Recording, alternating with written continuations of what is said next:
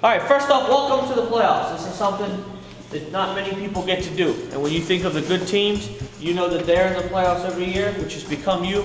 But the other teams, there's a lot of teams that you know and your friends that are not doing anything tonight.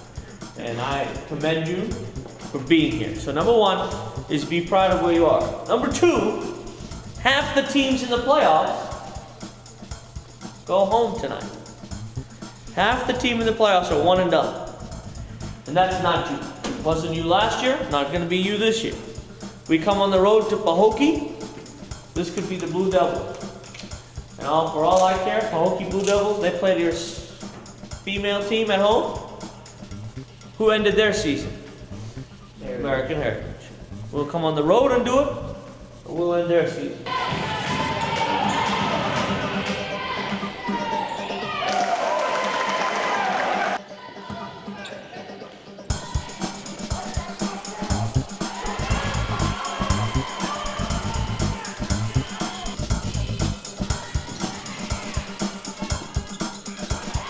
Sixteen to seven after the first quarter, you know, we just came out because we were more talented and better than them, and we took them out of it early. But it was still one of our worst quarters that we played this season.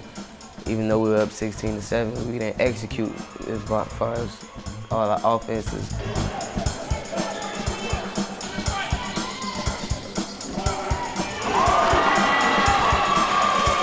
He told me and Jay to go in there and play hard, rebound, and block shot. So I think so we did that. The second quarter, me and Eloy, we decided just to step it up, and since it might have been our last game, just to leave it all on the court. And so we were both rebounding and blocking shots. Eloy had about 10 blocks. Trying to play high right now because this is the playoffs. See, you lose, you go home. So I trying to go into your play and go for the championship.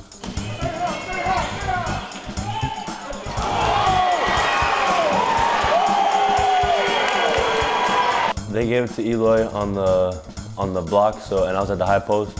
So when he went for the shot, I was going in for the rebound. I saw it was a miss, so I went up and just grabbed it and put it down.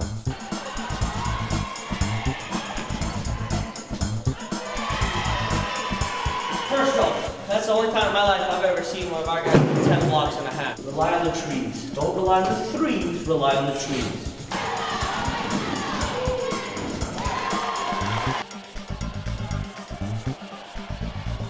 Third quarter, um, we came out complacent. Everybody was really, I think we took them for granted because the first half we came out, we smacked them. So everybody took that for granted. Then they hit some threes, and their crowd got in it. And when they crowd got in it, they started hitting more threes. Like kids just picking up loose balls, just shooting threes, and it was draining. So I just think the crowd got into the game because we were so complacent of how much it was up by.